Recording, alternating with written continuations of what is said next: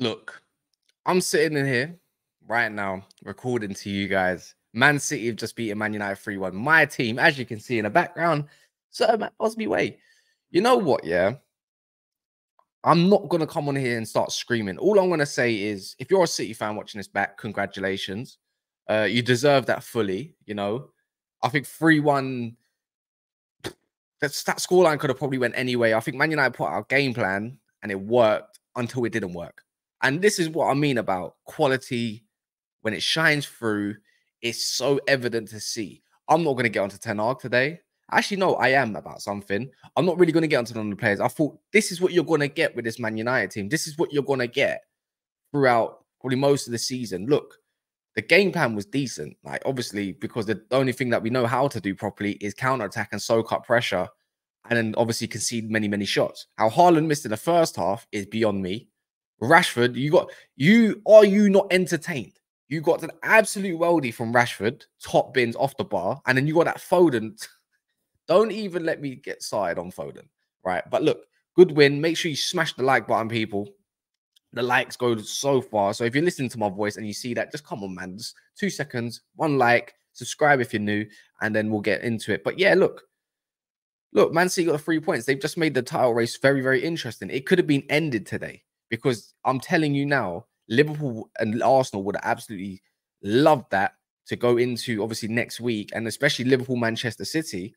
Liverpool would have ate that up, especially when being at Anfield. You'd be more than confident to go and pretty much end all sorts of title hopes. So the three horse race is still on. Look, I said to you guys on other videos, um, even the one yesterday after the Liverpool game, do not expect Manchester United to do any favors, especially away from home. I say that but really and truly, in that Old Trafford, what are we really doing? Yes, we got to play Arsenal, and yes, we got to play Liverpool, and it'll probably be more favourable for Man United, especially if they when they have um players back. But I, am just gonna say, I told you so.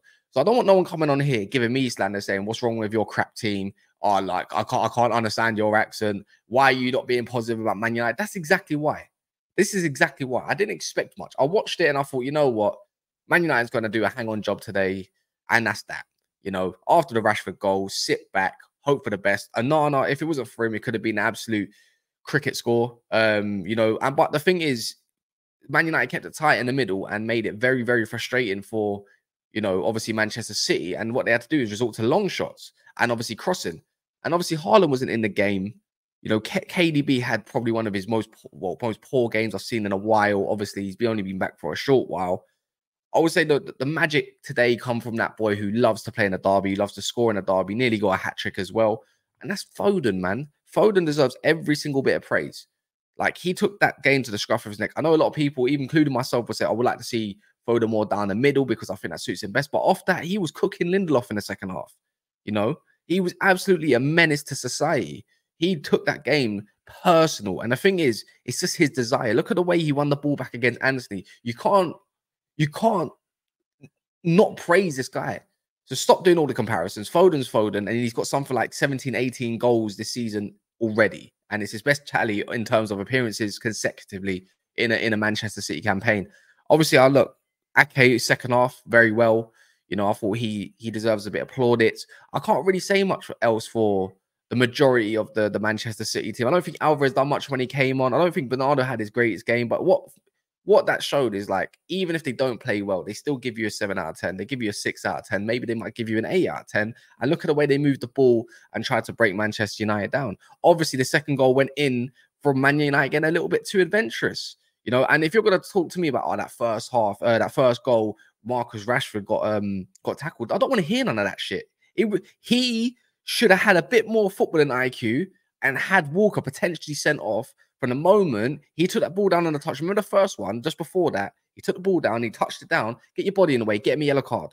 So in that second phase, he can't touch you. And he all he did was put his arm across and you went down like a sack of shit. You know what? I don't think Rashford, I'm not gonna cut, I'm not gonna I'm not gonna say that he's been anything short of woeful, you know, but that's a typical Marcus Rashford type performance. You know, he actually gave some effort, he got knackered um a little bit, like he didn't have no complaints when he came off. But I just thought Ten Hag just you got it right until you got it wrong. Taking Kobbie Mainoo off, he's been rested against Forest, right? He barely got. I don't even think. I don't even know if he even came on. He can last 90 minutes. If the rest of them can, he can. And that's when it all dissolved a bit. I know at that point, I believe it was, it was, was it 2-1? I can't even remember because you know Foden pretty much scored straight away afterwards, anyways. But you lost that composure, and that's what led to that third goal. You know, if you really wanted to shut shop up and get a bit more adventurous, you keep Kobbie on, let him be the more advanced midfielder, maybe take us um a Bruno Fernandes, Scott McTominay, somebody off. And then you know, you see Antony come on. What was the point? He's pony. I get it. Garnacho is not the greatest uh, uh, today. Um, I thought, you know, even the one way he's chasing the Ederson ball, I think he could have been more alert to that, but it didn't happen. Obviously, Ederson got the ball and absolutely clamped him. But like, if you're gonna take him off, I just thought you just took Garnacho off and you took Rashford off. And to be fair, I know they're, they the outlets of the day, but you gotta you gotta make sure they push hard. If you're gonna take one, just take one off. I don't think you should have taken the other off. I thought Garnacho was quite tidy. Obviously, Dalot got moved over to left back to deal with Foden, which in hindsight it kind of worked. It worked better than Lindelof, but you're not gonna get much out of a Lindelof. But yeah, look, Man City dominated. Got three points. What what more are you gonna? I'm gonna sit here that ball fraud I want to still out my club anyways. But I'm not going to go towards this game because you know what? We all we all expected uh, Man City to smash Man United and it didn't happen. You know, it was probably a frustrating evening for Man City until what was it? Let me let me look, just double check the first goal. I think it was around 56 minutes, and then after that, it was the uh when was the second goal? Oh yeah, it was the 80th minute. That was it. So it wasn't straight afterwards. I got that one wrong. It's just lackluster little bits of moments. I'm looking at it now. It's Rashford came off and then we conceded because guess what? The shape was all wrong. If you're going to bring on Amrabat and you're going to and you're going to bring on a Forson, you've got to do it in a different way.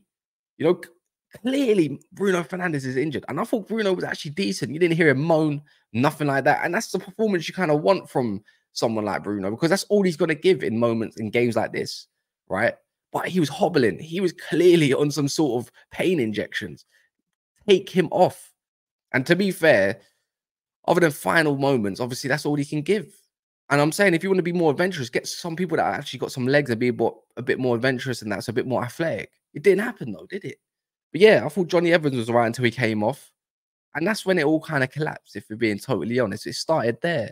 You know, Evans come off and then straight after, what's it called? Um, pretty much after Foden's goal. And then yeah, tried to deal with a situation and it just didn't happen. Look, I, I can't sit here and keep waffling to you guys and trying to give you all the excuses in the world. I've got no excuses all I can say, all, all I can say is, is is praise for Man City, and obviously that's what you're going to get from a Man United team. That's the best that you're going to get, and that's that. They weren't. It was it was just not their day. Defended well until they didn't.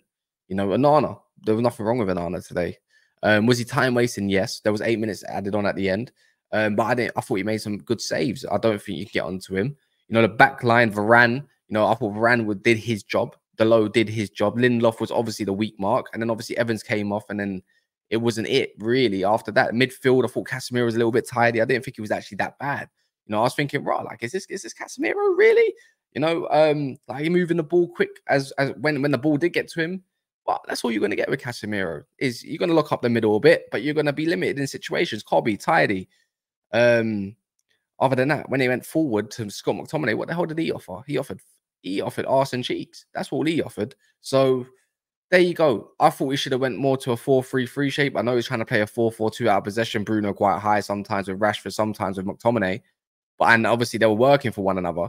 But I just thought if you're gonna go 1-1 and you want to be adventurous, go to a 4-3-3 at least. At least play one of the strikers a little bit deeper, maybe playing a, a bit of a diamond shape, and then have your outlets a bit more tucked in because that's all you're gonna get. Kyle Walker, look at look at the pace of this guy, man. He's fake. He's like 33 years old and he, he's just fake. But look, good win, Manchester City.